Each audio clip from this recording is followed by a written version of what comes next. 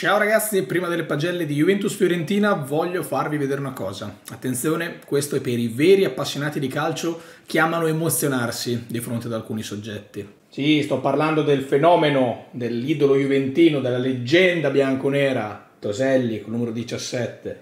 Ve lo ricordate, no? Sì, perché tutti abbiamo in mente i grandi idoli del passato, quelli di ieri, ma quelli di oggi e quelli del domani? Eh? Del Biero, il Bernabeu con quella doppietta spettacolare al Real Madrid, con quella fantastica maglia dorata, con quella standing ovation. Sì, è vero, i ricordi sono belli nella testa, ma anche collezionarli non sarebbe male. E come ben sapete, le maglie originali da calcio un centinaio di euro almeno te li portano via, poi se le volete appendere come ho fatto io lì dietro, un'altra ventina, trentina di euro per la cornice, devi fissarla e ci sono un po' di cose da fare.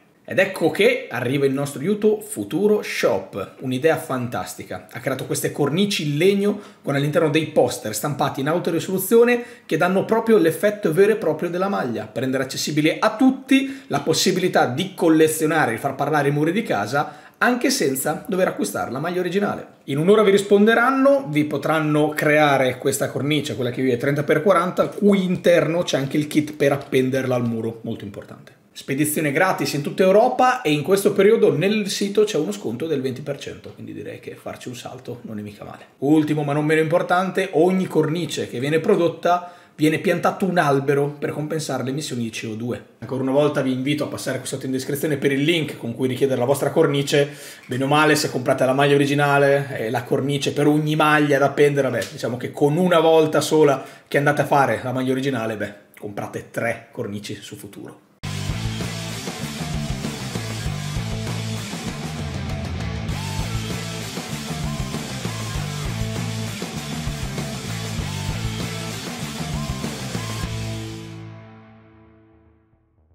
Eccoci qua, salve a tutti. Analizziamo per l'ultima volta, prima della pausa nazionale, la prestazione della Juventus con dei voti all'allenatore e ai giocatori individuali.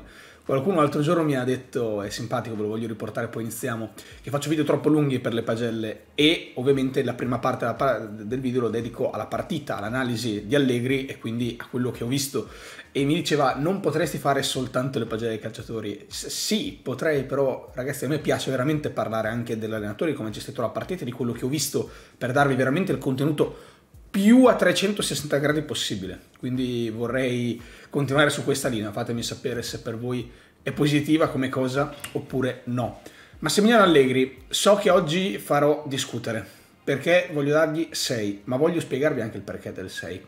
Probabilmente sulla carta una partita del genere dove si fa male il portiere titolare, si fa male il difensore centrale titolare, deve giocare il vice, cioè Chiellini, si fa male anche lui, gioca il quarto difensore che non aveva mai fatto minuti contro una squadra che stava andando veramente bene, che era te in classifica, e la vinci senza subire tiri in porta, se questa è la narrazione della partita, è una partita da di più di 6, indubbiamente.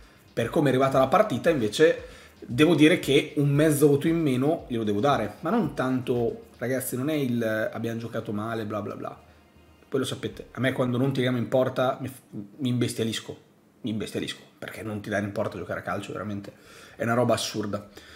Il punto è che secondo me davvero insistere con questa scelta di Rabiot in quella posizione è controproducente.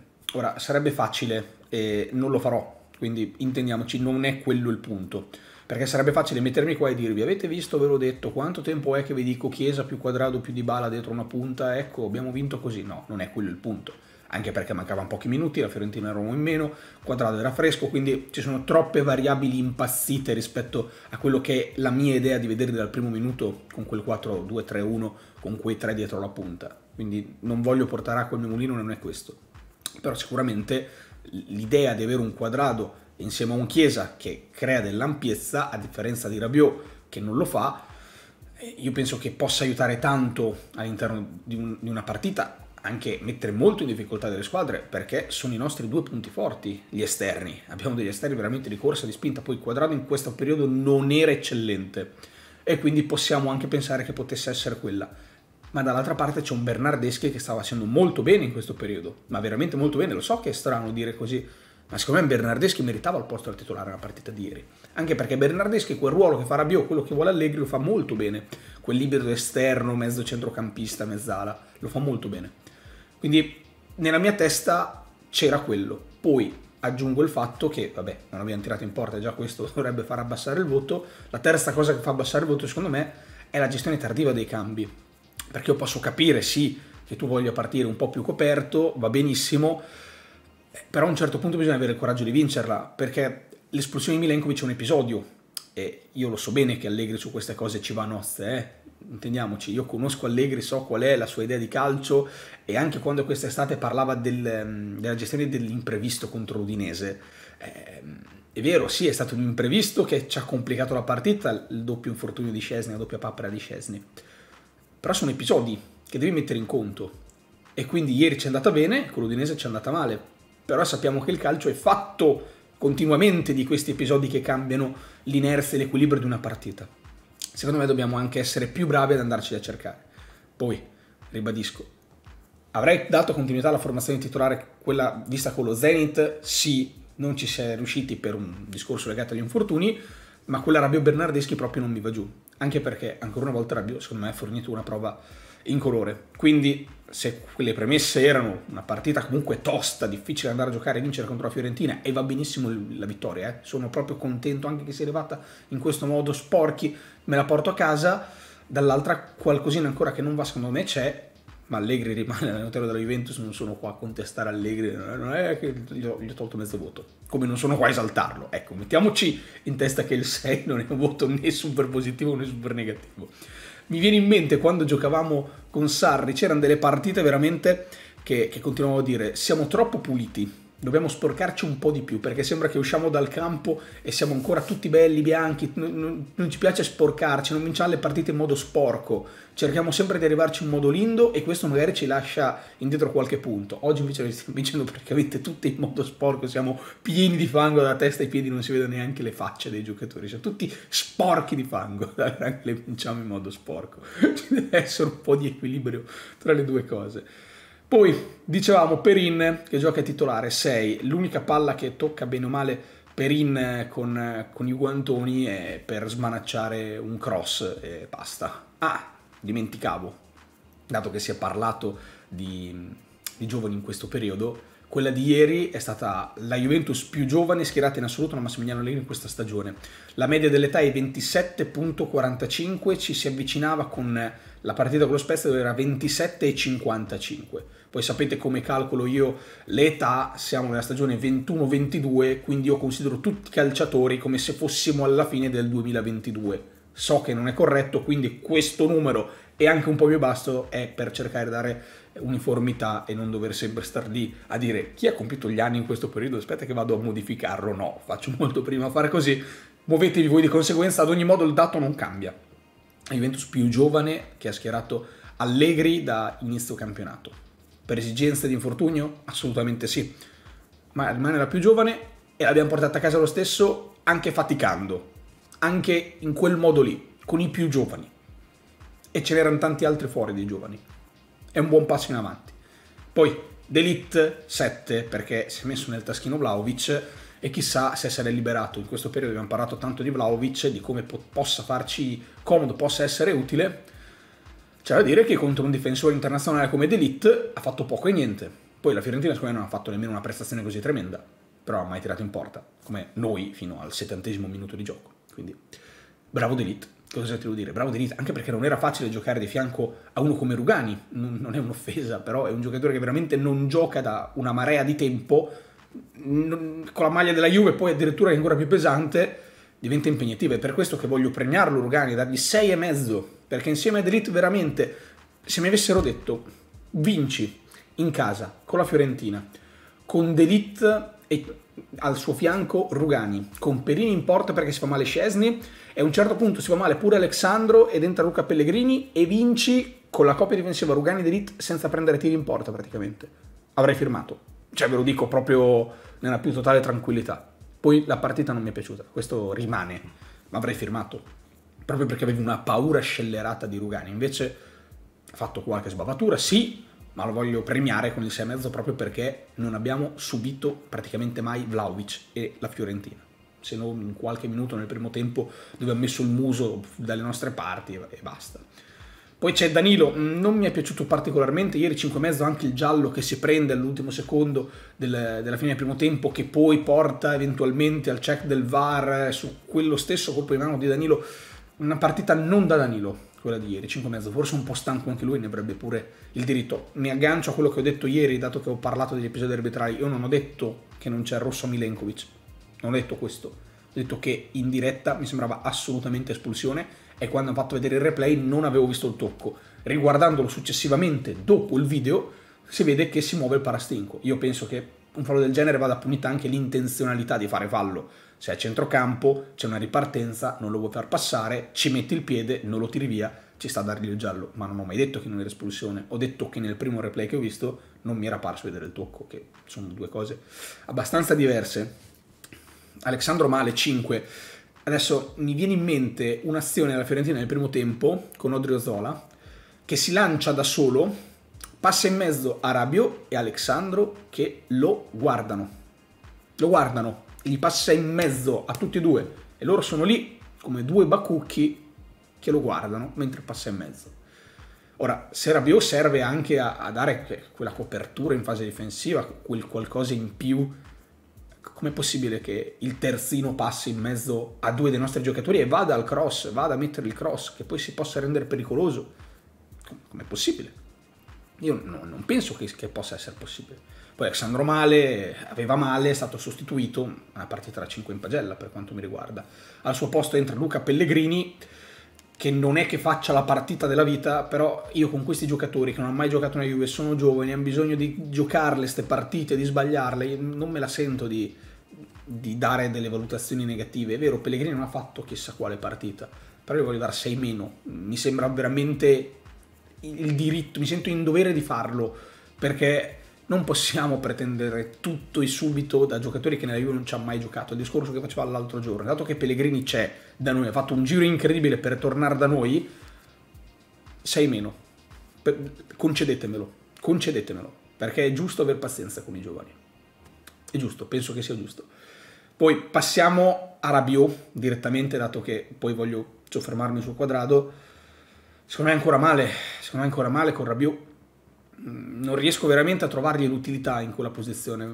Faccio fatica, poi ne abbiamo parlato anche ieri, anche sui contrasti aerei, si fa, cioè è in vantaggio, arriva uno da dietro con più voglia, gli prende comunque la palla. E questa è la domanda che vorrei fare a Max, ma perché li Rabiot? E attenzione, quest'estate, ve l'ho detto tante volte, secondo me Rabioli lo vedremo tante volte, perché ci avevamo visto Pogba, ci avevamo visto Matuidi, ci avevamo visto Manzukic, Allegri non era la prima volta che si inventava una roba del genere, però io mi aspettavo potesse fare qualcosa di più. E non è il palleggio che chiedo Rabiot, non è il, la suola, il tacco, il gol, l'assist, però almeno la solidità, la fisicità, ti chiedo di mettercele, dato che sei messo lì per quello principalmente. Non riesco veramente a capire io non, non, ho in mente partite veramente fatte bene di Rabiot in quella posizione, sto guardando la media di tutti i voti di Rabiot quest'anno è 5,25, la media dei voti di Rabiot quest'anno non è mica alta, eh? non lo so, non, eh, non mi piace lì, cosa vi devo dire? 5, voto 5. Invece entra Quadrado, Quadrado entra e mette subito il cross per Chiesa, dove Chiesa va a impattare la palla e va a tirare in porta poi eh, ne mette un altro molto brutto e alla terza volta fa gol. Un gol anche importante, decisivo, vitale, un gol anche eh, di coraggio perché tirare da quella posizione lì è abbastanza inusuale. Cioè, adesso un mio amico mi ha inoltrato un video del gol al Lione di Quadrato dove vinciamo 1-0 con Lione nel 2016. La posizione è circa quella, il gol è, è molto simile come dinamica a me è venuto in mente anche il gol di Maicon col Brasile, eh, che, che, è stato molto più difficile, molto più bello in realtà rispetto a quello di Quadrado. Però vedere dei gol da quella posizione lì di solito è complicato proprio perché il portiere, in teoria, sta sul suo palo, marca il primo palo, la palla non dovrebbe passare mai. Quindi diciamo che è stato anche un gol che, per quanto bello, vitale, decisivo, è difficile vedere tirare lì, di solito tiri, cioè non, non è che tiri, lo metti in mezzo, cerchi un'altra giocata, Però tante volte diciamo cosa crossiamo a fare, stavolta non abbiamo crossato e l'abbiamo decisa con, con, questa giocata. Quadrato a 7,5, poveraccio, ha giocato 10 minuti, quello che vi dicevo prima. Eh, io capisco che non sia in forma, capisco che ci si voglia provare in un altro modo ad arrivarci al risultato, però ha giocato 10 minuti, ha messo due cross, uno bene, uno male e ha risolto la partita, io penso che non ci si possa dare altro che, che 7,5 e anzi ha alzato il baricentro della Juventus tantissimo, poi ribadisco, sì, era fresco, la Fiorentina era uomo in meno e bla bla bla bla bla bla bla. Però quadrado direi 7,5 senza veramente nessun motivo per cui ricredermi. Poi abbiamo Locatelli, 6,5, partita ordinata, partita buona, partita più che sufficiente. Diciamo che iniziano a trovarsi lui e McKenny inizia a essere un accenno di centrocampo che non mi fa dannare, perché in questo momento non è più il centrocampo la cosa che mi fa dannare, perché lì bene o male, in un modo o nell'altro ci siamo aggiustati, non è che stiamo vedendo il tiki-taka del Barcellona di Guardiola del 2010-2009, eh, però no, non stiamo nemmeno facendo robe tremende e credo che davvero Locatelli McKenny sia il motivo per cui arriviamo a dire questo. Poi McKenny da 7, Ragazzi, McKenny ha fatto un'altra partita incredibile. Aggiungo io, dato che non lo leggo da nessuna parte, il primo giallo di Milenkovic nasce da un McKenny che prende palla a centrocampo e fa un po' quello che vuole. E non era la prima volta che durante la partita faceva quello che voleva. McKenny proprio un altro giocatore. È per questo che vi dico, ma perché mi tocca sentire, eh però sì Rabiot dai se ci pensi bene, ok che non è stato bravi, però dai qualcosì, ma no, ma no, ragazzi ma, ma siamo nella Juventus e qualcuno ieri mi ha detto, continui a prendere mira Rabiot perché guadagna 7 milioni di euro. Se non fosse così eh, ti darebbe meno fastidio. Eh sì, eh, eh sì, eh, ma certo che sì, ma, ma ovviamente sì. Se c'è un giocatore che guadagna tanto nella Juve, che mi blocca il mercato, che non ha dimostrato, che non mi fa vedere, ma certo che mi dà fastidio che guadagna 7 milioni di euro all'anno alla Juventus. Non può non darmi fastidio. Poi se vedo altri giocatori soprattutto che guadagnano meno e fanno tanto di più e rendono tanto di più, mi viene il dubbio di chiedermi per quale motivo dovrei lasciarli Rabiot? Per sentirmi una persona migliore? Perché non sto dicendo, non sto pensando, oddio poverino Rabiot dopo come fa? Oddio Rabiot poverino come fa? Ma secondo me ci arriva a fine mese da qui alla fine dei suoi giorni. Cioè delle due poverino io. Mica poverino Rabiot. Poverino Rabiot è un ossimoro poverino Rabiot. Se vuoi 7 milioni di euro all'anno. Oh. Per forza mi danno fastidio poi certe cose. Eh, non, non, posso, non, non, ce la faccio a dire, eh vabbè dai però allora bene la parola, allora facciamo le pagelle, diamo sempre tutti 6, partiamo dal 6, arriviamo al 10, al 10, 6, quadrato 10, Rabiot 6 più, per in 7, ma non è così ragazzi, cioè se, se, si gioca male bisogna dirlo, se si gioca bene bisogna dirlo, se si gioca male bisogna dirlo, cioè, non, non riesco a capire perché dobbiamo fare i buonisti con Rabiot, perché poverino, solo perché guadagna 7 milioni di euro l'anno, eh beh, sì, è già, insomma, per forza di cose. Cioè, se siete in un'azienda e guadagnate 2000 euro al mese, il massimo che fate è un solitario comprato fiorito. E secondo voi i vostri colleghi dicono, vabbè, poverino, capo, lascialo stare, cioè, solo perché guadagna 2000 euro al mese non rende? Beh, il capo gli girano un po' i coglioni, secondo me. Secondo me. Poi voglio vedere se è vero oppure no. Passiamo all'attacco. Siamo all'attacco dove Chiesa secondo me si prende 6,5. Eh, non è stata una grande partita nel complesso da parte di Federico Chiesa, però è, è la scintilla Federico Chiesa. Procura l'espulsione di Milenkovic, prende la traversa, va a prendere quel cross di quadrado, un'altra occasione nel finale quando siamo già nell'1-0 oltre il recupero dove tira in porta. C'è stato un momento che la fase offensiva della Juventus era Federico Chiesa, è questo che mi piace di Chiesa, nel momento decisivo, nel momento, quando lui capisce che veramente è ora, eh, Chiesa si accende, funziona, va, crea. Che cattiveria, ma anche da niente, eh. la, la, traversa nasce da un pallone, boh, un po' così, messo lì, niente, lui lo traduce in una bomba che, che spacca in due la traversa. Poi, ovvio, poteva fare di più nel resto della partita, ma secondo me ieri siamo stati anche un po' disordinati nella nostra fase offensiva, per quello non si è visto tanto. Poi complice di Bala che non era una serata migliore, secondo me nella testa di Allegri c'è questa voglia di, di, di 4-3-3 particolare, perché ieri per tanti momenti della partita l'abbiamo visto che erano tre a centrocampo e tre in attacco, con Chiesa che si alzava e Rabiot che stava un po' più fermo. Però eravamo sempre un po' confusi, non capivamo poi come dovevamo scalare quando perdavamo palla, non riuscivamo... Poi complice anche magari il fatto che la Fiorentina fosse messa bene, però ieri non, non eravamo messi bene, ma non eravamo nemmeno liberi di testa come lo eravamo con lo Zenit, quindi si è vista la differenza, non mi stupisce questa cosa, ma la differenza si è vista, anzi penso che Allegri abbia preparato la partita con la Fiorentina esattamente come l'ha preparata con l'Inter, come l'ha preparata col Milan, come l'ha preparata col Napoli, come l'ha preparata con la Roma, col Chelsea. Lui l'ha messa nel filone delle grandi squadre e quelle non sono le partite da giocare, quelle sono le partite da vincere. Per citare Allegri, poi con il Sassuolo è andata male, siamo d'accordo. Ehm, anzi, quel, sono, le, sono le partite da giocare, scusa, non le partite da vincere, sono le partite da giocare. Che poi se arrivi alla vittoria attraverso il sacrificio è perché considera la Fiorentina una grande squadra. Di Bala 5,5, non il miglior Paolo Di Bala, devo dire la verità, anzi anche lui un, un po' pasticcione, col pallone tra i piedi, dopo la bellissima prestazione con lo Zenith, eh, un ridimensionamento ma che non ci deve veramente complicare la vita, non, non deve farci piangere, non deve metterci in difficoltà, capitano anche le serate in cui non gira nemmeno Paolo Di Bala, 5,5 semplicemente. Do 5,5 pure a Morata, vi spiego il perché, perché non mi è piaciuto, eh? non mi è piaciuto però se riguardate anche solo gli highlights, nel primo tempo è uno veramente dei pochi a metterci della voglia in campo e provare a creare delle occasioni. Poi l'opzione è quasi sempre stata la peggiore, l'esecuzione non è mai venuta. Ieri in live dicevo, Morata somiglia terribilmente a me come attaccante. Io gioco attaccante, no? E sono un attaccante che non fa gol. Morata è un attaccante che fa pochi gol.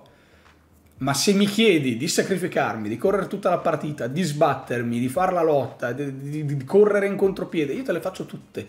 E la stessa cosa la fa Morata.